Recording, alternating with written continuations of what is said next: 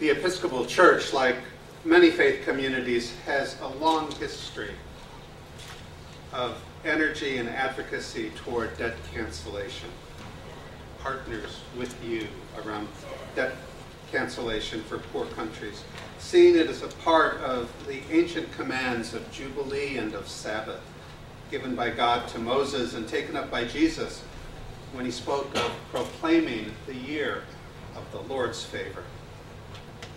For many Episcopalians, and I would put myself in this category, the Jubilee 2000 campaign was a formative moment in our trajectory toward being committed advocates for justice and peace in the world, and in particular, the present engagement and advocacy for the Millennium Development Goals, priority of our church. As Episcopalians, our membership in the Anglican Communion and our close partnership with tens of millions of Anglicans who live in the developing world make debt cancellation a very, very personal cause for this church.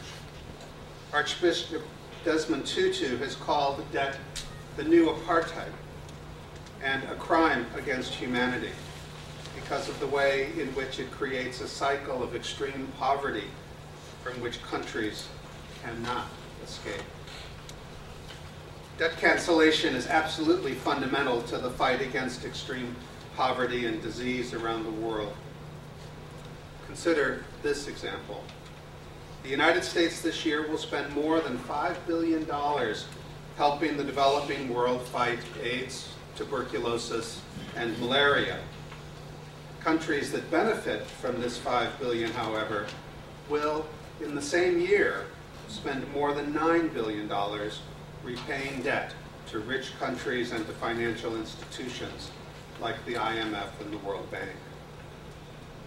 By contrast, recent, recent history tells us that when developing countries see their debts canceled, progress in the fight against poverty and disease come almost overnight.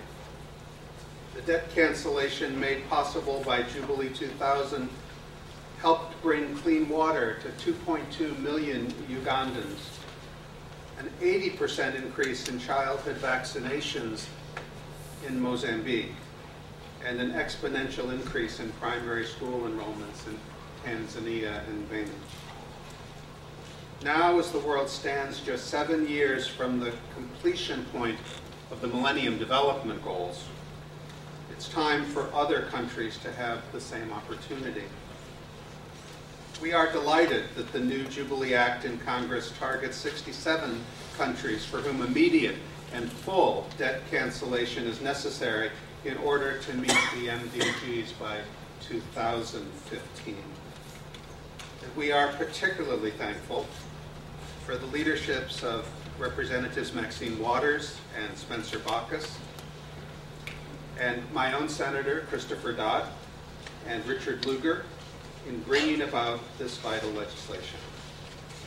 Across the country, Episcopalians pledge ourselves to take action in the coming months to ensure that every member of Congress hears that the time for debt cancellation is now. Let us pray. Gracious and most holy God, your mercies are new every morning. You created us in your image as one humanity, your family. Yet we exploit one another. Your purpose for all people is health and wholeness. Lead us into Jubilee, that we may claim new ways to relate to one another and to claim your freedom. Give us the strength and passion to provide a vehicle of hope for the poorest of the poor through legislation for expanded debt cancellation. Inspire us, O God, of many names and many cultures, never to rest until the deadly grip of poverty is ended, and all people may live into your peace. Amen. Amen.